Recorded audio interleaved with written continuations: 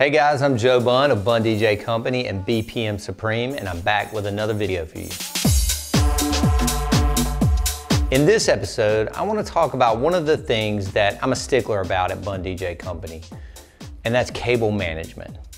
I'll admit it, I want to get in the building in one trip and set up as fast as possible, but I would never compromise the appearance of my gear.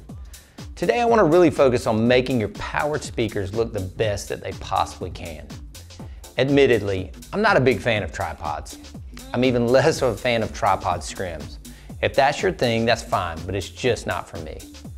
So let's start with the cable that I use. This dual power slash XLR cable is awesome. It saves a ton of time when setting up.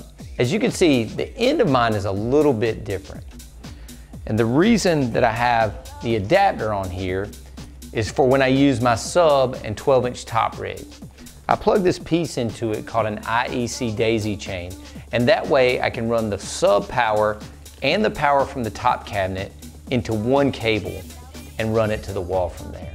See Ben or any of the staff over at NLFX if you want to order some of these cables.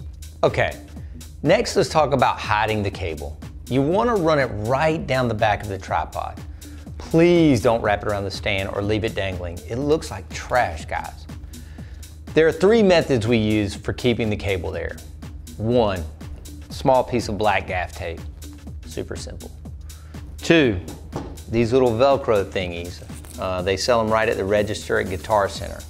Or three, my current favorite thing, this little plastic piece. I'm not even sure what it's called, but again, I got it from NLFX.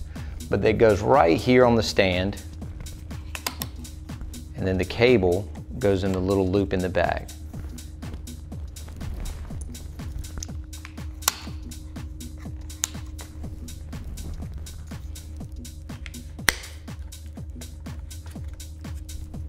When you do this, remember, go all the way down the tripod pole for the best look and never forget to gaff tape down your cable run to the wall and from your console to your speakers, especially if they're gonna be a trip hazard for you or your guests.